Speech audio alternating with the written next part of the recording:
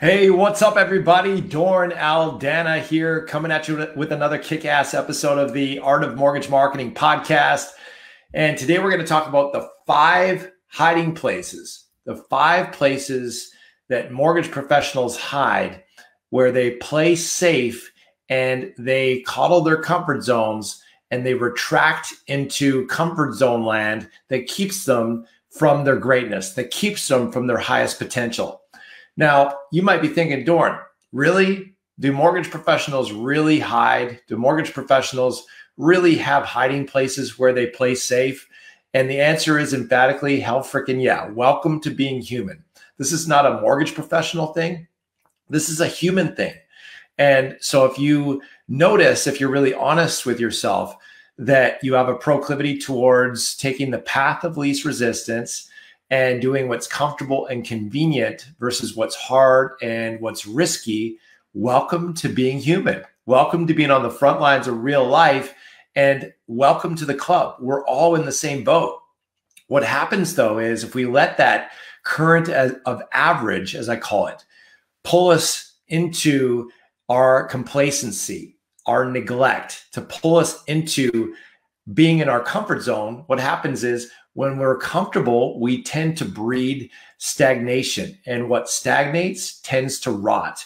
So we don't want to just let that current of average pull us down current down the precipice of mediocrity because that is obviously not what you are committed to nor is it what you're called to nor is it why you're in this business you didn't get in this business to be average you know it and i know it so let's talk about this, shall we? Let's shine a light on these five hiding places that unfortunately 80% plus, if not even a higher percentage than that, of mortgage professionals allow to have them live a mediocre life in the muck and medio- me- the muck and mire mediocrity. Easy for me to say. It's a word I don't like. I detest so much. I have a hard time saying it apparently, but it keeps them in the muck and mire of mediocrity and it keeps them settling for second best because the truth is that 80% of people who get in this business get chewed up and spat out in just two years. Those who manage to survive their first two years only make 75K. And that's before tax, not after tax. Now, I don't know anyone who got into this business who has an ounce of ambition, who was inspired to get in this business to make 75K gross, 45K net. Chances are you're no exception. So, how is it that so many people settle for second best? How is it so many people spin their wheels, bang their head, head against the wall, and go nowhere in this business and just settle for a second best life in I can't afford it prison? Well, here is how it happens it's called the five hiding places. So, let's get into it and do it, shall we? The first hiding place is this paperwork. Paperwork. Now you, be, might be thinking, Doren, are you kidding me? Paperwork is a hiding place. I hate paperwork. How would that be a hiding place? And the reason why it's a hiding place is because in order to push the needle on profit and performance in your business at the highest level, you need to focus on rainmaking, not paper pushing. And most mortgage professionals, with rare exception, emotionally associate. Notice I word um, I use the word intentional emotional, emotionally associate more risk with picking up the phone and booking appointments with realtors than they do pushing paper around their desk and doing administration.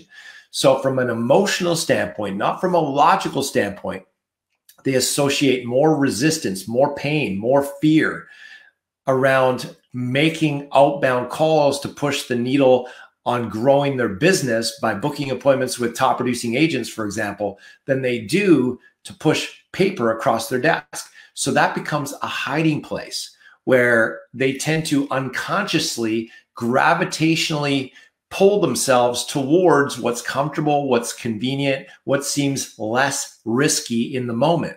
Have you noticed? So that is one of the hiding places. If we allow ourselves to let the current of average tow us towards the precipice of mediocrity, we will automatically have a bent, a gravitational pull towards that. So we literally have to swim upstream against this current of average. we have to resist the urge to do what's comfortable and convenient. And we need to delegate more and more of the paper pushing so that we have more energy, more fuel in our tank, and more time to focus on what really makes a difference when it comes to filling the pipeline and growing your business. And that is and always will be attracting top producing realtors to make you their exclusive. Now, that being said, a lot of times the reason why you're not wanting to reach out to realtors is because you don't have a kick ass value proposition that's unique and compelling. And you're showing up as just an unwanted pest instead of an annoying pest instead of a welcome guest. If you can relate to those two things, then chances are you have natural resistance to reaching out to realtors because you don't want to be that loan leech who's just pounding down their door and you're just another average Joe LO saying you got great rates, great service, throw me a bone. Because again, naturally, that degrades your sense of dignity, right? You naturally feel like you're groveling, you're chasing, you're begging, you're bribing, you're hoping they're going to throw you a bone or throw a let a crumb fall off the table and give you one of their last resort loans, right? You don't want to be the last resort loan officer. So if you notice you have hesitation or reluctance to making calls to realtors, chances are it's because you don't have a kick-ass unique value proposition that flips the script so that the realtor needs you more than you need them. If that's the case, you really do indeed need our help. And that's a big reason why smart, ambitious, growth minded mortgage professionals hire us because it is not an easy code to crack to figure out how to flip that script. It's not an easy code to crack to figure out how to bring a kick ass value proposition such that the realtor needs you more than you need them. If it was, we wouldn't be in business bringing in seven figures a year consistently, helping mortgage pros create breakthroughs for 16 years. We wouldn't be in business for 16 years if that was an easy code to crack. If you could just do a little online research, you know, just do a little research on Google. Bada bing, bada boom. You can watch a free YouTube video. You can read a free blog. You can listen to a free podcast and easy breezy lemon squeezy. You crack that code and now you're moving on to making your millions in the mortgage business. Obviously, that's not the case. If it was, everyone would be fit, rich, and happy in this business. Most people are fat, broke, and unhappy in this business. Why is it? Because this is not an easy code to crack. So keep in mind if you have a proclivity towards procrastination of pushing the needle with proactive prospecting and you have a bent towards paperwork as a hiding place, you are not alone. It's because you need to upgrade your strategy on how to do proactive prospecting in a way where you hold the cookie. You're in the driver's seat where you are in a power position and you get to pick and choose who you want to work with instead of groveling and chasing and begging and bribing. That's doing it the hard way.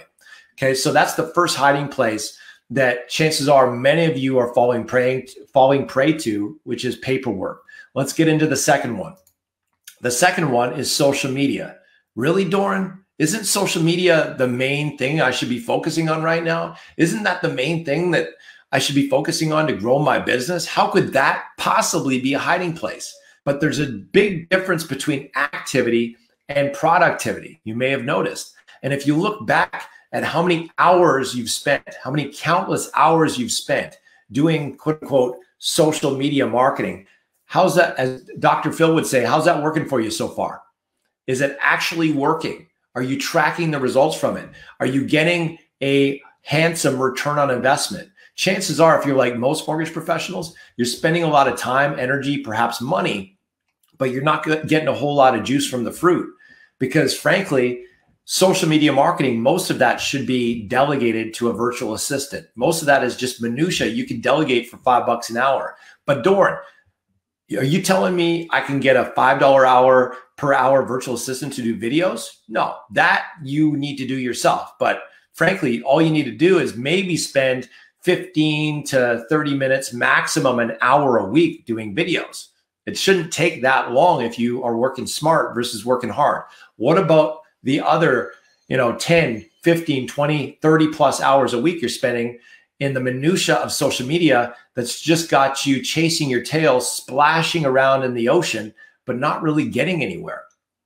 Again, that's a hiding place. And it's a hiding place because it feels a lot more comfortable and a lot less risky to be behind your computer screen with your keyboard, being a keyboard warrior, if you will, versus getting out there and taking a risk by reaching out to these top producing realtors to book appointments. But truth be told, you're going to have 10 times, 100 times, perhaps even more of a multiple return on investment getting in front of top producing agents with the right strategy, with the right hook, with the right value proposition than you will ever get by doing a bunch of posts on social media where you get a few likes and that's it. You might get a few comments and that's it. It's not really making your phone ring, right? With rare exception, most of those posts are doing jack diddly squat for you, true or not true.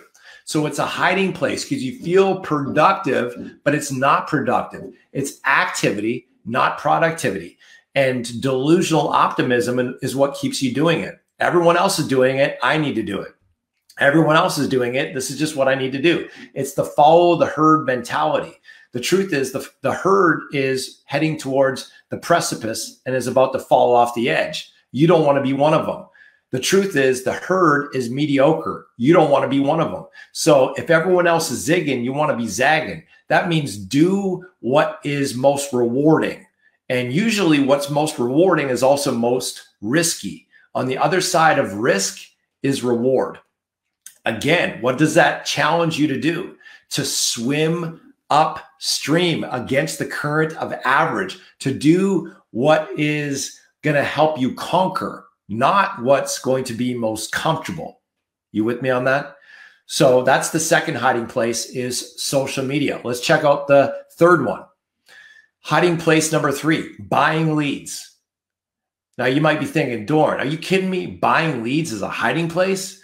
That's a shit ton of work. I'm calling these guys, they're not answering the phone. I'm grinding, I'm white knuckling, I'm texting, I'm emailing, I'm calling them multiple times, I'm leaving voicemail multiple times. How could that possibly be a hiding place?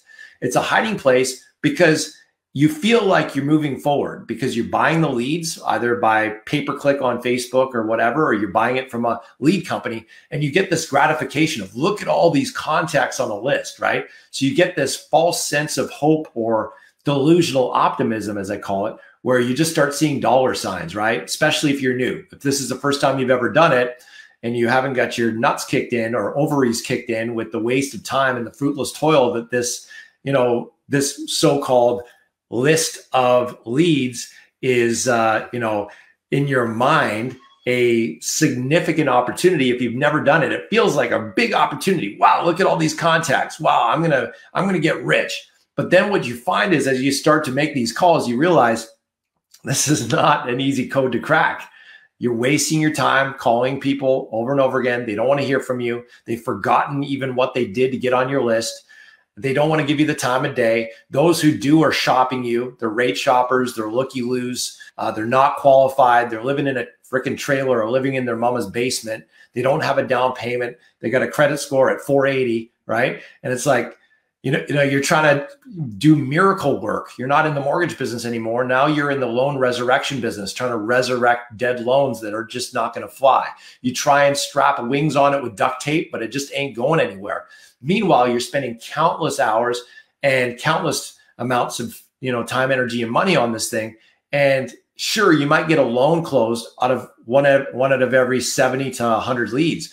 But if you think about how much time you're wasting, if you think about your earnings per hour, if you think about your profit at the end of the day after spending all the money on the leads, your profit per loan is probably at least less than half of what it would have been if it had come through a referral source like a realtor or a client. And so now you're spending all this time, but you're literally working longer and harder for less. And now you're on a guinea pig wheel. You're not actually in a real business. Now you're a freaking call center calling a bunch of crap leads that don't want to hear from you. And when you get a lead, they're most likely to shop you, which means now they're going for the lowest rate and you're whittling down your price points, or if you can, you're buying down your price points. And now you're trying to win the deal based on price. And if you're winning the war by price, you're also going to die the war by price. And now you're a replaceable cog in the wheel. There's no unique value proposition that they're seeing in what you're bringing to the table. They're not pre sold, they're not pre cooked, they're not pre tenderized. It's a hard long grind up the mountain, literally sifting through a mountain of gravel just to find a few gold nuggets. That's doing it the hard way. How is that a hiding place? It's a hiding place because it gives you this delusional sense, this false security that you're being productive, but it's not being productive. It's activity, it's not productivity. And so, again, that's a hiding place because it keeps you distracted from what really pushes the needle on profit and performance in your business at the highest level, which again is and always will be, if you have a database, mining the gold from your database, maximizing repeat and referral business from your happy clients. And if you don't have a database, it's just one thing attracting top producing realtors to make you their exclusive. There is nothing that even gets remotely close to being as profitable as that.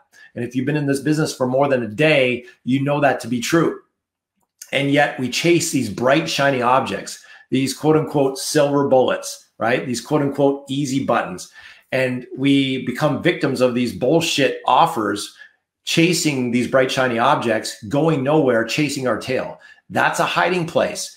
And the earlier you realize that, the earlier you're going to get back on track to get onto the path of prosperity, the path of promise. So that's the third hiding place. Let's get on to the fourth. The fourth hiding place is perfectionism. Perfectionism. Now you, you might be thinking, well, Doren, how could perfectionism being be a hiding place? I thought perfectionism was, you know, a badge of honor. I'm a perfectionist, right? We wear it like a badge of honor. Honor. I'm a perfectionist. I want everything to be perfect. And we kind of beat our chest like that's a good thing that we're proud of. In truth, that's a hiding place. Why?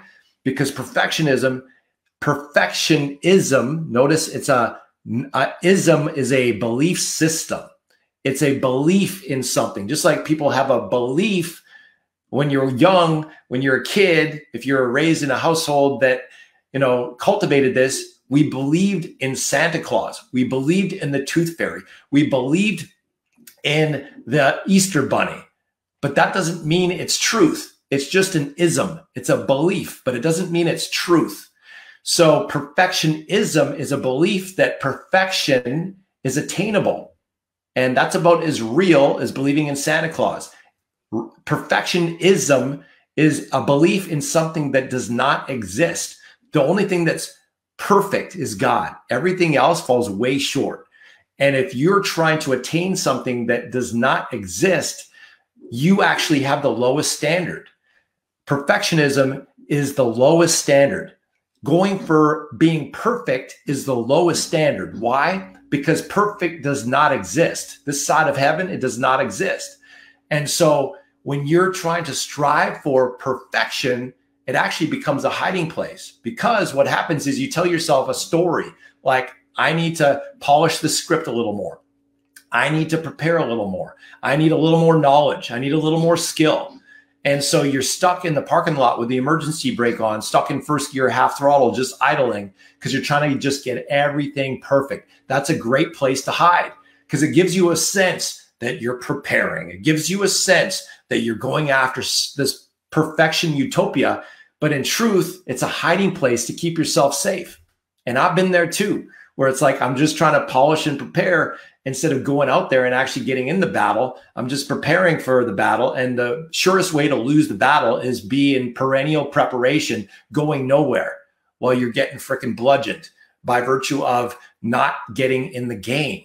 So my mantra that I invite you to take hold of for yourself is we seek progress, not perfection. We seek progress, not perfection, because winners take imperfect action. They just get out there and they take action, while losers are still polishing up their perfect plans, just trying to get it all just right. Everything just nice and polished and beautiful and perfect, while they're going nowhere, going freaking broke. That's a great way to go broke in this business, going for perfectionism. So we want to take action. And as you take action, you're going to get new distinctions. There is no such thing as failure, just feedback. So don't be worried about failure. Failure is not a person, failure is an outcome. And it's not actually a permanent um, outcome, it's a temporary outcome where you get feedback.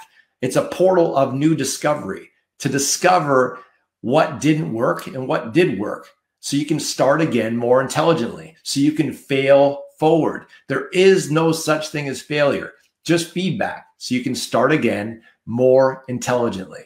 Isn't that a beautiful paradigm to live into? Isn't that a beautiful, expansive perspective to step into where you don't have to fail? You don't have to worry about failure anymore. You don't have to fear failure. I used to fear failure. I used to worry about can I do this? Am I good enough? Do I have what it takes? Do I have the right looks? Can I speak good enough? Do I have the knowledge that I need?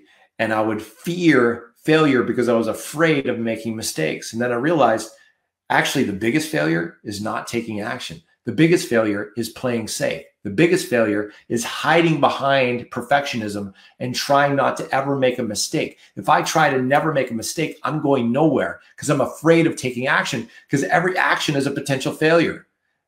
And so, what that does is it actually puts me in a prison of my own making, a prison of perfectionism. Don't let that be you.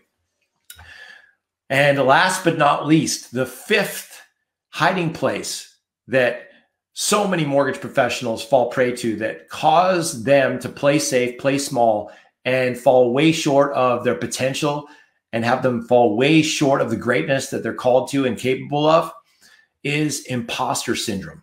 Imposter syndrome. What do I mean by that? Imposter syndrome is a very human thing. It's a very human thing. And it's the human tendency to look at ourselves in the mirror and say, I'm not enough. I'm not smart enough. I'm not good enough. I'm not intelligent enough. I don't have the right color of skin. I don't have the right gender. I didn't come from the right parents. I didn't come from the right side of the tracks. I didn't come from the right part of town. I didn't come from the right state. I don't come from the right company. Whatever it is, we tend to have, or I'm not knowledgeable enough, or I'm too new, I don't know enough. Can you relate? I know I certainly can. I remember starting out as a coach. One of my biggest fears is I'm I'm not knowledgeable enough. You know, I looked like I was, you know, still wet behind the ears. This young punk. Who is this Doren Aldana guy? You know, I had this fear that people, if they really knew who I was, that they'd realize that I'm an imposter and they wouldn't want to work with me because I don't know enough.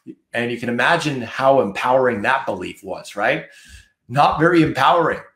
And we have so many reasons, if we allow ourselves to, to whittle down our confidence and to knock out at the knees of our mojo and our swagger factor factor and our and our confidence and our competence because there's always something that we can look at and compare ourselves with others, compare and despair and feel not enough.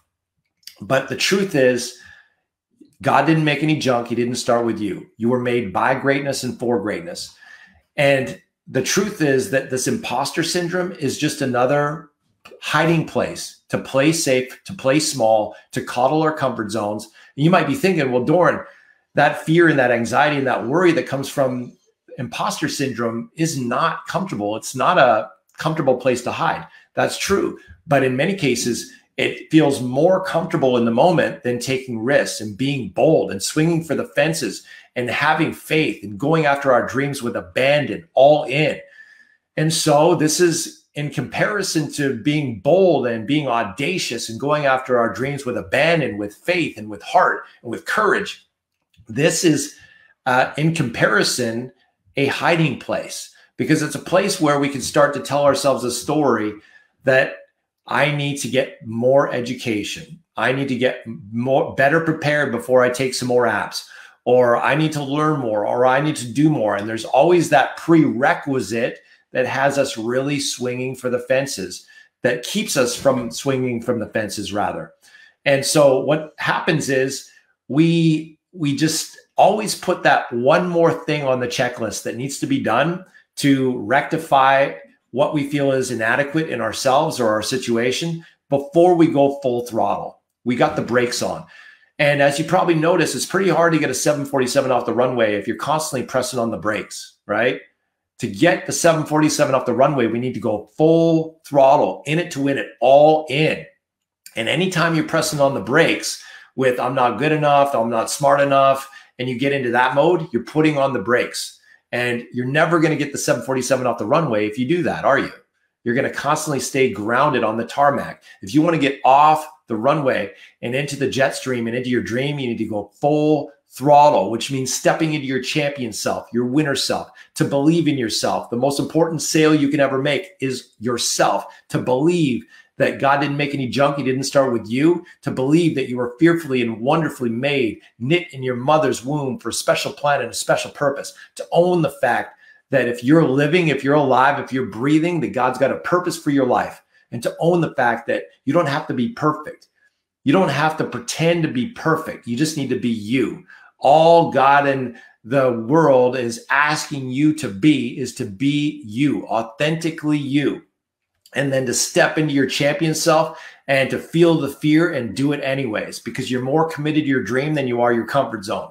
So you feel the fear, you do it anyways. You feel the resistance, you do it anyways. You feel the current of average pulling you into the story that you're not enough. And then you switch it around and you say, no, no, no, not on my watch. I'm not going to believe that story anymore because I know that story is taking me towards disaster. It's taking me towards settling for second best life and mediocrity. Screw freaking that. I'm owning the truth that if that dream is in my heart, it's for a reason because it's calling me to walk by faith, to abide in faith, to be a light warrior in the darkness, to be on mission, to be on purpose with purpose, to make a difference in people's lives, to feel the fear, to do it anyways, to continue to walk by faith. Faith is the substance of things hoped for and the evidence of things not seen, which means you you see your vision, your glorious vision for your dream and you start giving thanks for it in advance. And you start to own the fact it's already yours. You start to revel in the glory of your dream as if you already have it. And you start to build an identity that it's already yours. It's like you're a Amazon Prime member. You just placed your Prime order and it's already yours. It's got your name it is on it. It's en route and you know that it's yours such that you start celebrating in advance. You tell your friends and family about it in advance. You're reveling in it in advance.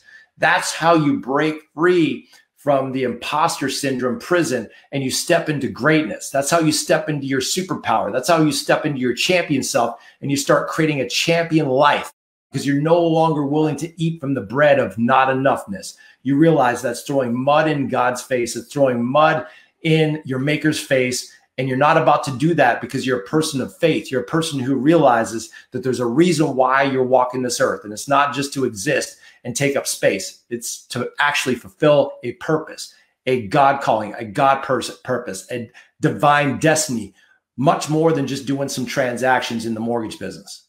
You with me on that? That's what it takes to start to step into your greatness and to fulfill your calling and to fulfill your God destiny. So, that being said, if you're listening to this right now, you're like, Doren, I'm picking up what you're putting down, man. I'm feeling that. I'm feeling that energy. I know that I'm capable of so much more. I know that these are places I've been hiding. I've been hiding behind paperwork. I've been hiding behind being you know, busy, but not necessarily being productive. I realize there's a big difference between activity and productivity. I've been hiding behind social media, behind the computer screen because it's more comfortable than being bold and, you know, swinging for the fences, getting in front of these realtors. I've been hiding behind buying these crap leads that don't convert. Never again. I've been hiding behind perfectionism, right? Trying to seek perfection. Screw freaking that. From now on, I seek progress, not perfection. I've been hiding behind the story that I'm not enough. I realize that's a lie.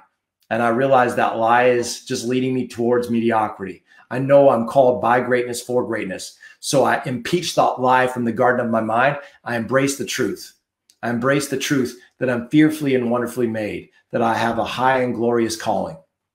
And I embrace the truth that as I surrender, as I surrender to my calling, as I surrender to my divine guidance in my life, that I will find the power of serenity and strength to fulfill my calling. And so, if that's you, you're on 100% commission, You which you kill no safety net, and you realize that you are just scratching the surface of the surface of your potential, and you're ready to take not just a little incremental improvement breakthrough in your business, but a quantum leap breakthrough in your business. And you're ready to start making more money in one month you used to make in three, four, five, six months because the best way to help the poor is not be one of them. If you're going to work, you might as well get freaking rich. If that's your truth and that resonates with you, and you're ready to learn how to work smart instead of just working hard, I invite you to take advantage of a complimentary breakthrough call where you'll get on the phone with me or one of my consultants. We'll lift up the hood on your business. We'll look at what's working, what's not working, where you're at now in your business, where do you want to take it? And if we can help you bridge that gap, we'll show you what that looks like. If we can't, we'll be the first to advise you to pass on our services. But you just need the right support, the right structure, the right guidance, the right systems. And you know that to be true. And you're sick and tired of spinning your wheels in the same spot and you're ready to create a breakthrough now, not someday. If that's you, book a call, mortgagemarketingcoach.com forward slash apply. All right, guys, that's all we got for today. I trust you got some insight and some distinctions and some newfound awareness from this podcast. I just walked you through the five hiding places mortgage professionals use to unwittingly play it safe, play it small, and keep themselves from their greatness. Don't let those hiding places hold you back from your greatness because this gift of life, it's a gift. It's no dress rehearsal. It's a one shot deal. So let's make the most of this gift of life and let's bring your gift to this world and create massive impact in the world so that you can spread your wings and soar and fulfill the highest calling on your life and to be that difference maker, to be that beacon of strength, to be light in the darkness, to touch hearts and change lives. That's what I'm talking about. Not just making do, but making freaking history. So I'm looking forward to connecting with you if indeed you're ready to book a call. If not, we'll see you on the next episode of the Art of Mortgage Marketing podcast. Be blessed. We'll see you again soon. Peace, y'all.